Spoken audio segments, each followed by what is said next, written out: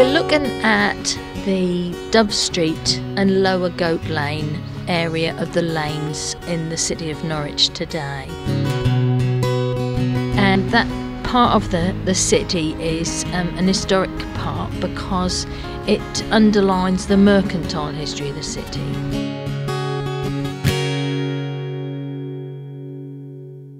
So if we start with Dove Street, that used to be called Halter Lane, but it changed its name to Dove Street because, as with lots of Norwich streets, they're named after pubs. And Dove Street was named after the Dove pub, which then changed to the Edinburgh Arms, but of course they never changed the, the name of the street. Dove Street was the only exit from the market. Um, now, I mean, you could sort of stagger out through various little lanes and things, but obviously, if you were selling your wares in the market, you needed a cart or a hand cart or something, and this was the only street that would enable that kind of passage.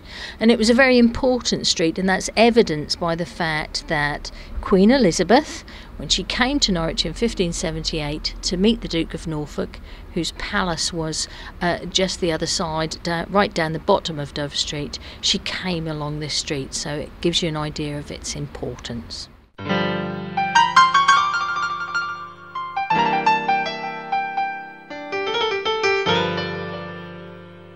We're going to look at the site where Tesco is on the corner of Gaol Hill and the corner of Dove Street.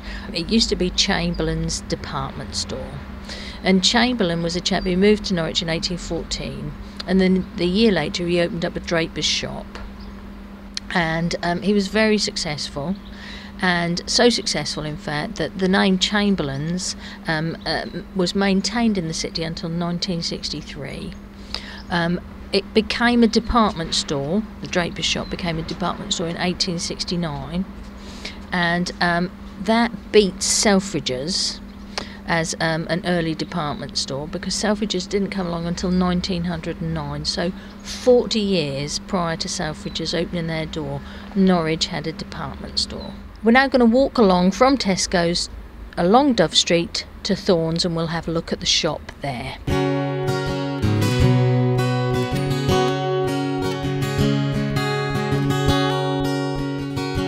Can see in front of us now um, this great ironmonger shop, um, the only one that's left in the, in the city, called Thorns.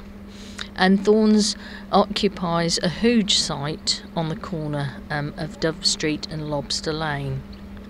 When you walk around um, cities and, and towns and sort of go into the uh, shops and things, it's not always apparent. You're not always thinking, why are they there?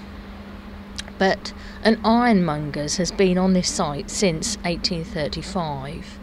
But ironmongery has been sold in this part of the city since the Normans brought the market, the French market, into the city centre.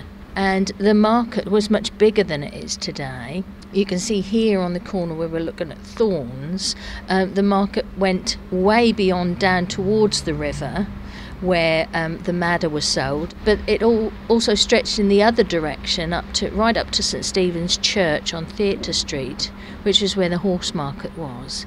So the ironmongers' thorns isn't here just by chance. This is where the ironmongers would have been with their wares when the marketplace was in full sway when the Normans first came.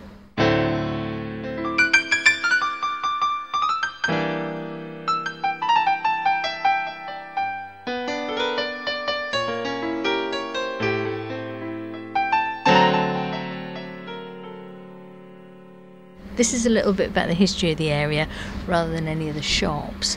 But um, in the 1860s, a pastry chef called Aberdeen had a shop here.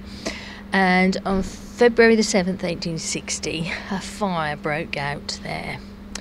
And it wasn't very serious and it didn't spread very far.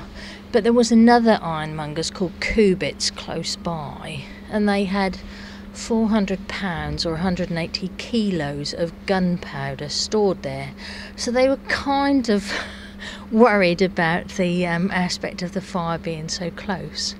So it was wrapped up in wet blankets and moved to a place of safety, and none of it um, erupted, thankfully. However, August the 1st, 1880, another fire started This time in Hearns, the rope makers that was just down the, the way from here.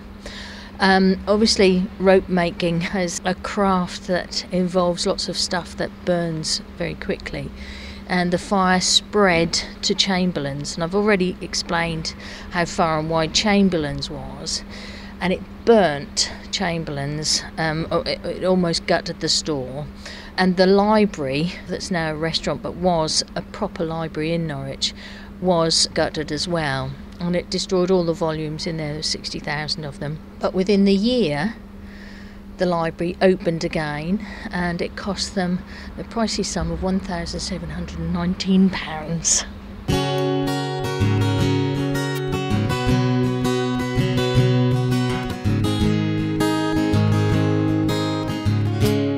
Lower Goat Lane was originally called Stonegate Magna and it took its current name from the old Goat pub in the 17th century, and that pub closed in 1861.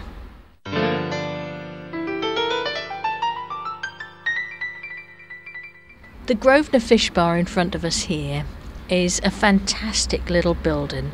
It might not look like it from the outside, um, but A, it's a fish and chip shop, so it gets my vote. Um, but it's actually a 17th century timber frame building with a medieval undercroft, and I don't think you can tell that from the outside. There are about 80 undercrofts in the city in Norwich, but few of them are open to the public. But this one is, and this is a great spot